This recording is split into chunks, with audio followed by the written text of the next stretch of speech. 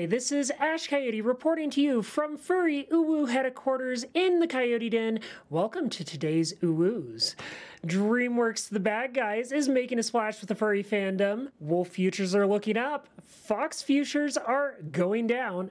No surprise there. Sing 2 was announced, making further waves in the Fox markets as Wolves look to dominate the season. Foxes hope for a strong comeback with Zootopia 2, but word on the street is that Zootopia 2 might not live up to the hype due to its partnership with B movie icon Asylum. This was Ash Coyote reporting to you from Uwu News headquarters, uh, signing off.